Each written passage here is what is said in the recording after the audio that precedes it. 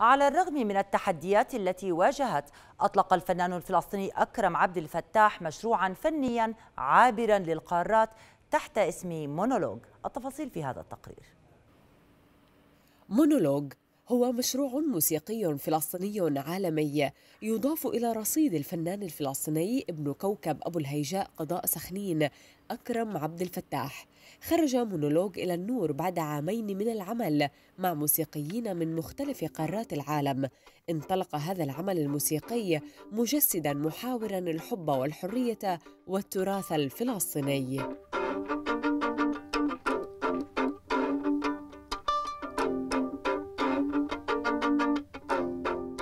مشروع اللي بيجمع آه، آه، موسيقيين من آه، قارات مختلفة السويد والهند وفلسطين بطريقة إنه يتعاونوا مع بعض في إنه يعملوا موسيقى كجسد واحد. وعشان هيك سماه مونولوج. فإحنا عمليا كفرد واحد من بنعبر عن لوحة أو فكرة موسيقية على المسرح. اللي بميزه كمان الإيقاعات الموسيقية والآلات الموسيقية المستعملة هناك. ففي معنا طبعا الطبلة الهندية مقابل الآلات الموسيقى العربية كالطبلة والدف. إيه كمان في عنا الكمانجا الست أوتار مقابل الجيتار ال electric إيه من السويد. ففي عنا كمان وجود الدرامز والغناء. فتنوع الآلات وتوزيعها عم بيعطي كمان نكهة خاصة في أنه تبين كل الاختلافات في الموسيقى. يرى أكرم عبد الفتاح أن الموسيقى غذاء الروح ولغة تواصل مع الذات. الموسيقى هي البوصلة التي تحرك الفنان إنسانا وكيانا وكينونة هوية وتراثا وحضارة.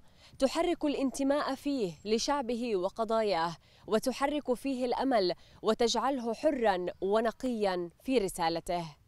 استطاع أكرم عبد الفتاح أن يتواصل من خلال الموسيقى مع هويته العربية والعالمية وامتداده الطبيعي كفنان فلسطيني.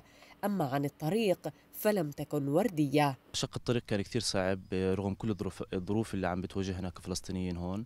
إيه، طبعا بداياتي كانت في ال pop music مع أصالة نصري محمد عساف وفنانين آخرين. بعد هيك طبعا تنقلت بين هاي الموسيقى لموسيقى الكلاسيكية ثم الموسيقى المجردة الآلاتية اللي أنا كنت عم بفوت طبعا رحلة التلحين الموسيقي.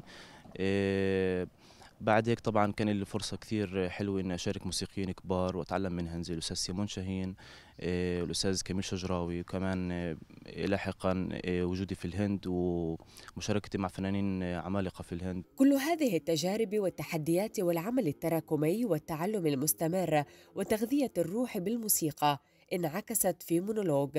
المشروع الموسيقي الذي سيغير المفاهيم عبر القارات وستنعكس في مشاريع أخرى ستولد قريبا. من قرية كوكب أبو الهيجاء في الداخل الفلسطيني المحتل. روزين عودي رؤيا.